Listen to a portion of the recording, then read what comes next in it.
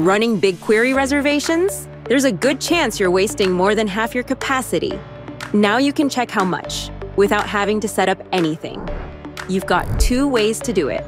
Log in with your GCP account and we run the numbers for you. Or stay manual, run a quick script, and upload the result. Adding your details takes only a few seconds. Add your reservations projects, regions, and the BQ Execution GCP project, click once, and you'll get a breakdown based on real usage. Or if you prefer to keep it hands-on, we'll give you a pre-built SQL. Run it in BigQuery, drop the output back here, and check the result. You'll see how much you're paying for, how much you're actually using, and what you could save with better slot management.